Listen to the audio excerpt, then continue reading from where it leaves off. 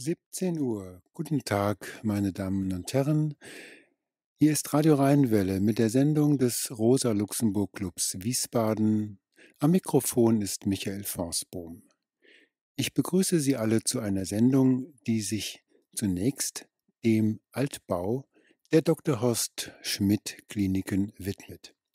Ich hatte vor zwei Jahren, genau gesagt am 1. Juli 2021, die Gelegenheit, Herrn Professor Dr. Matthias Müller, Kunstgeschichte der Universität Mainz, zu interviewen, genau zu diesem Thema, was soll mit dem Gebäudekomplex der Dr. Horst Schmidt Kliniken passieren, welche Gesichtspunkte aus der Sicht des Architekten, aber auch des umweltbewussten Menschen sprechen für diese oder jene Lösung. Dazu spiele ich jetzt das 2021 aufgenommene Interview mit Herrn Prof. Dr. Matthias Müller, Universität Mainz ein. Während der Neubau der Dr. Horst Schmidt Kliniken fortschreitet, hat eine öffentlich geführte Diskussion um die Zukunft der von 1976 bis 1982 gebauten HSK begonnen. Soll sie nach bereits 40 Jahren wieder abgerissen werden? Oder sollte nicht erst geprüft werden, ob der Gebäudekomplex erhalten werden sollte und für Wohnungen, Geschäftsräume und soziale Einrichtungen umgebaut werden könnte und sollte? In einem offenen Brief haben sich bereits 2019 der Diplom-Ingenieur Oliver Elser, Kurator des Deutschen Architekturmuseums Frankfurt am Main und Professor Dr. Matthias Müller, Institut für Kunstgeschichte und Musikwissenschaft mit dem Schwerpunkt Architekturgeschichte an der Johannes Gutenberg Universität Mainz, der gleichzeitig stellvertretender Vorsitzender des Rheinischen Vereins für Denkmalpflege und Landschaftsschutz ist, an die Landeshauptstadt Wiesbaden gewandt. Ihn begrüße ich jetzt am Telefon. Guten Tag, Herr Professor Müller. Guten Tag, Herr Forstbohm. Herr Professor Müller, warum möchten Sie den Gebäudekomplex der HSK vor dem Abriss bewahren? Ja, Herr Forstbohm, das mag zunächst auch aus Wiesbadener Perspektive merkwürdig erscheinen, ist ja Wiesbaden doch eine Stadt, die für die Gebäude und Bauwerke aus dem Jugendstil und Historismus berühmt äh, geworden ist. Und da möchte man jetzt äh, ja mit, äh, denke ich, äh, ja, merkwürdigen Argumenten plötzlich einen Gebäudekomplex bewahren und vor dem Abriss retten, der erkennbar aus einer ganz anderen Zeit, nämlich aus der Nachkriegsmoderne stammt, die wir auch zu Recht ja doch auch mit tiefgreifenden äh, Einschnitten in die gewachsene historische Stadt verbinden, mit äh, radikalen Betonbauten und so weiter, die auch von den Proportionen alle Maßstäbe sprengen.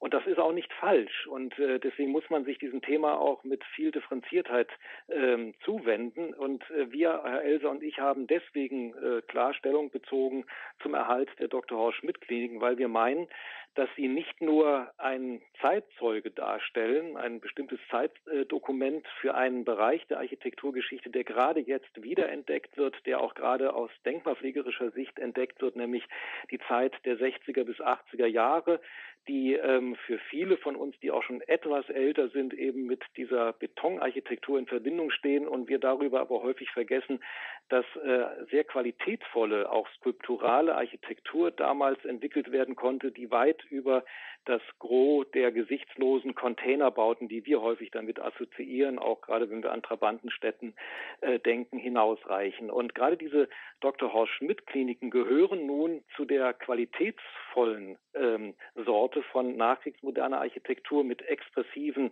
Elementen, die an Flughafengebäude erinnern, die an Weltraumarchitektur erinnern oder eben auch ähm, ja an den Versuch, historische äh, Architektur wie Festungsbauten in die Betonarchitektur zu transformieren. Und damit geben sie etwas zum Ausdruck, was wir wiederentdecken müssen, nämlich einen bestimmten Fortschrittsoptimismus, äh, gerade dieser 70er, 80er Jahre, dass man auch noch an das Primat äh, der Technik glaubte und äh, mit Beton vor allen Dingen versuchte, ähm, große gestalterische Leistungen in der Architektur zu realisieren. In Wiesbaden gibt es da nicht viel von. Das ist richtig. Und äh, diese Dr. Horst Schmidt Kliniken, schreiben Sie, seien also ein einzigartiges Ensemble der Nachkriegsmoderne in Wiesbaden. Genau das ist der Punkt. Also wie gesagt, Wiesbaden, Jugendstil, Historismusstadt, im Kern zumindest dann darum herum einige gesichtslose Trabantenwohnstädte. Äh, umso mehr ragen diese Kliniken heraus, weil sie eben für Wiesbaden, ich würde jetzt nicht sagen im bundesweiten Maßstab, da gibt es auch vergleichbare qualitätsvolle Architektur, aber für Wiesbaden und letztlich auch für Hessen doch in besonderer Weise diese von mir gerade skizzierte Zeit der Nachkriegsmoderne mit ihrem Fortschrittsoptimismus und auch diesem Wunsch mit Beton, einem Material, aus dem man ja sehr viel machen kann, bekanntermaßen, mit skulpturalen Effekten auch künstlerische Architektur selbst für Funktionsbauten zu errichten darstellt. Und Sie müssen sich vorstellen, eine Klinik ist wirklich ein Funktionsbau par excellence. Das hätte man nicht nötig gehabt, äh, derartige Gestaltungsqualitäten hineinzubringen. Und wenn man sich alleine das Anlieferungsgebäude mit dieser skulpturalen Ästhetik, die wir von Flughäfen, die ja wirklich die Fortschrittsarchitektur par excellence darstellen, vergleichbar sind oder auch diese turmartigen Risalite der Kinderklinik, dann merken Sie, dass hier wirklich der Wille zu einer Gestaltungsabsicht auch vorhanden war, über die Funktion hinaus. Ja, aber ich möchte noch äh, einen Schritt weiter gehen. Sie schreiben in Ihrem offenen Brief, ich zitiere, der Abriss eines gerade erst 40-jährigen, in seiner Bausubstanz noch soliden Gebäudekomplexes und die Neubebauung bedeuten einen doppelten Verbrauch an Ressourcen. Was meinen Sie damit? Also das eine ist sozusagen, dass wir uns einer Zeitschicht entledigen, die in den nächsten Jahrzehnten auch als äh, Denkmalqualität immer mehr erkannt werden wird, auch durch die jüngere Generation. Also das heißt, da haben wir eine historische Verantwortung. Und das andere ist tatsächlich auch eine ökologische ähm, und auch eine Verantwortung gegenüber dem Bestand. Ich würde es mal so zusammenfassen. Äh, die Klimaschutzdebatte kreiste bisher immer um Mobilitätsfragen, äh, Umbau der Stadt hin zu einer fahrradgerechten oder auch fußgängergerechten Stadt. Es ging um äh, erneuerbare Energien, um äh, Gebäudedämmung und so weiter. Was sie aber gar nicht beachtet haben, war der enorme Ressourcenverbrauch von gerade Betonarchitektur. Das heißt, wenn Architektur aus Beton einmal steht, dann ist die Energie gebunden. Wenn ich sie wieder abreiße, sorge ich schon mal für Ressourcenverbrauch. Wenn ich dann wieder neu baue, erst recht, weil Beton und Stahl, Stahl-Beton-Architektur äh, weltweit, das hat auch die UN mittlerweile berechnet, 38 Prozent des CO2-Eintrags der Emissionen ausmachen. Das ist eine ungeheure Zahl weshalb immer mehr Architektinnen und Architekten ähm, darauf hinweisen, dass wir ähm, viel stärker im Bestand bauen müssen. Das heißt, umbauen verändern, aber nicht immer abreißen. Das können wir uns schon aus Klimaschutzgründen in Zukunft gar nicht mehr leisten. Ich habe gerade noch bei der Vorbereitung der Sendung äh, gelesen, dass ein großer Anteil des Abfalls in Deutschland im Grunde Bauschutt ist. Und das kommt noch dazu. Ja, das muss deponiert werden, das entweder auch zermahlen und das kostet auch wieder Energie. Äh, also ein ganz anderer Energieverbrauch als etwa Holzarchitektur. Deswegen kommt ja auch die Holzarchitektur zunehmend äh, auf den Markt für größere Bauten, weil sie eben CO2 bindet und äh, erstaunlicherweise auch immer feuerfester durch bestimmte Konstruktionstechniken gestaltet werden kann. Also Brandschutzprobleme immer marginaler, also immer geringer werden und selbst Hochhäuser schon aus Holz denkbar sind, die man dann verkleiden kann und man sieht unter Umständen gar nicht das Holz. Also Beton wird immer mehr hinterfragt werden müssen als Baumaterial in der Zukunft, äh, gerade für den äh, Wohn- und auch Funktionsbau. Darf ich da noch eine Frage anschließen? Beton entsteht ja nicht sozusagen im Labor, sondern hat ja auch ähm, materielle Voraussetzungen. Woraus besteht denn Beton.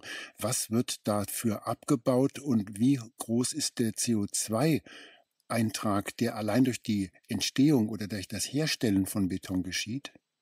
Ja, alleine auch schon, indem ich eben äh, diese verschiedenen Erden- und ähm, Sandformationen ähm, bzw. Qualitäten sicherstellen muss. Ähm, es ist der Mischprozess und es ist eben neben dem Beton an sich, deswegen hatte ich den Stahl ja genannt, auch die Herstellung von Stahl. Das ist ja sehr äh, ähm, energieintensiv. Betonarchitektur ohne Stahl funktioniert nicht, ist sozusagen nicht tragfähig, sodass also neben der Produktion des Betons durch die Gewinnung der Rohmaterialien, Herstellung der Mischung und eben ähm, auch der, dem, dem Transport auf die Baustellen zusätzlich auch das Einbringen des zuvor zu produzierenden Stahls entweder als Gewebe oder als Stahlträger mitzubedenken ist. Und diese Mischung zusammen, also diese beiden Komponenten Beton und Stahl, ergeben den hohen Energieverbrauch bei der Produktion von Betonarchitektur.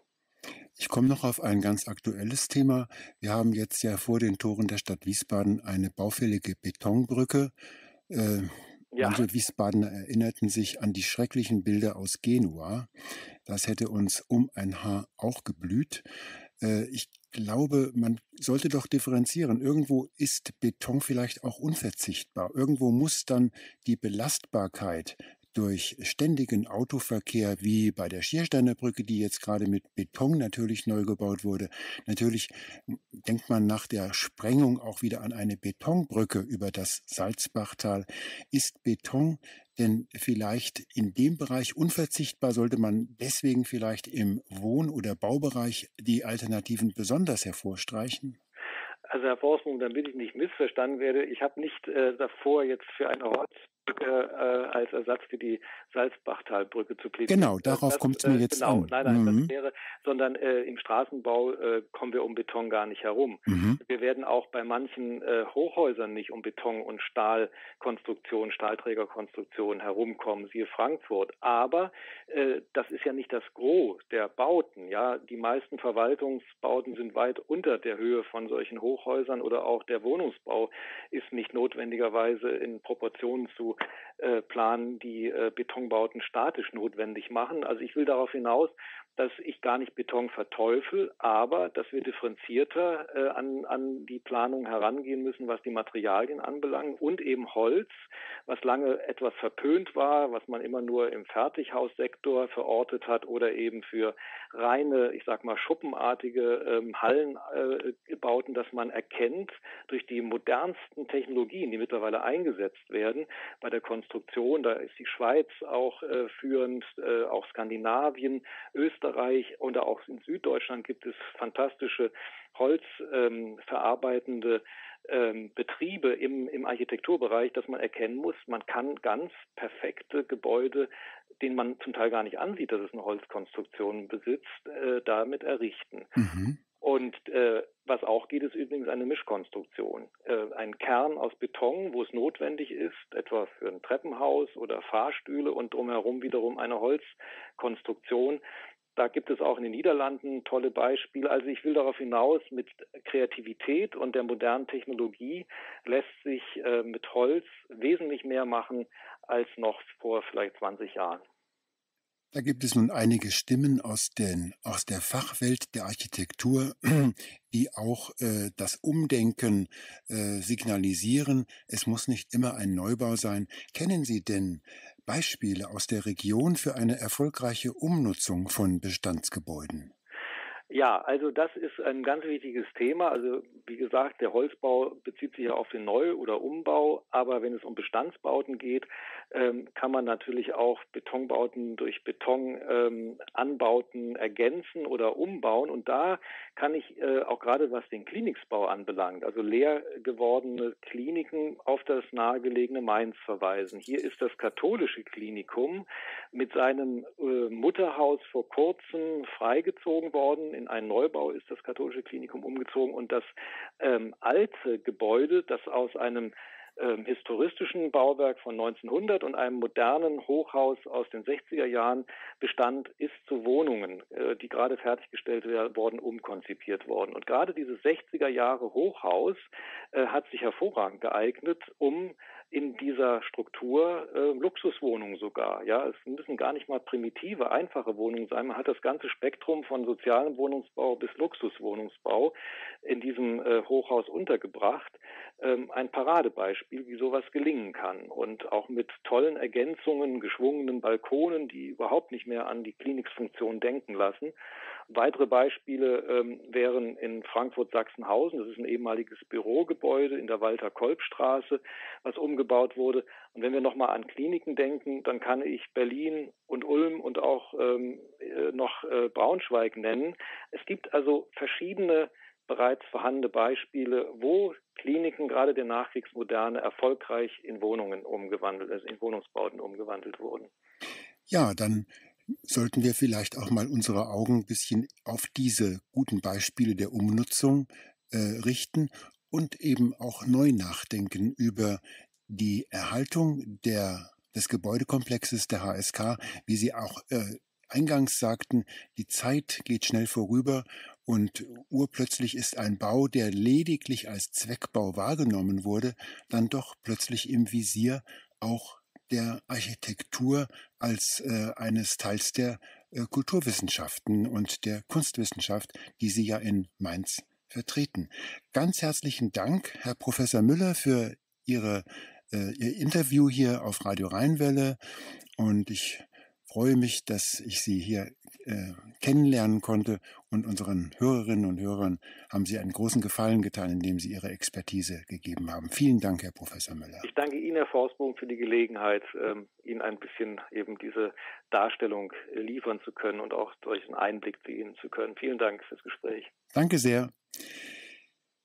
Ja, liebe Hörerinnen und Hörer, ich sprach soeben mit Herrn Professor Dr. Matthias Müller, Institut für Kunstgeschichte und Musikwissenschaft mit dem Schwerpunkt Architekturgeschichte an der Johannes Gutenberg Universität Mainz. Herr Professor Müller ist gleichzeitig stellvertretender Vorsitzender des Rheinischen Vereins für Denkmalpflege und Landschaftsschutz. Ja, das war die Einspielung eines zwei Jahre alten Interviews. Dem hat man wohl nicht angemerkt, wie alt es war. Es ist ein aktuell, ein ganz brandaktuelles Thema, gerade auch in unserer Zeit. Denn laut Beschluss vom Juni 2019 seitens der Stadtverordnetenversammlung der Landeshauptstadt Wiesbaden besteht in Wiesbaden Klimanotstand. Was bedeutet das? Klimanotstand? Ja, ganz einfach. Alle Entscheidungen, alle Projekte und Prozesse der Stadt und ihrer Gesellschaften sollen unter den Vorbehalt des Klimaschutzes gestellt werden. Alle klimarelevanten Vorhaben, Projekte und Prozesse sollen identifiziert, hinsichtlich ihrer Klimafolgen bewertet und mit Blick auf ihren Beitrag zur Erreichung der Klimaschutzziele sowie auf Optimierungspotenziale und gegebenenfalls Kompensationsmöglichkeiten geprüft werden. Es sind klimafreundlichere Alternativen zu entwickeln und gegen konventionelle Lösungen abzuwägen. Nun, also, liebe Hörerinnen und Hörer, als hätte das Stadtparlament im Juni 2019 vorausgesehen, dass es jetzt im Jahr 2023 eine erneute Diskussion um die Frage des Fortbestandes des Altbaus der HSK geht. Ins Rollen gebracht jetzt in diesem Jahr hat die Sache die Fraktion der Linken im Rathaus. Sie hat eine entsprechende Anfrage an den Magistrat gestellt.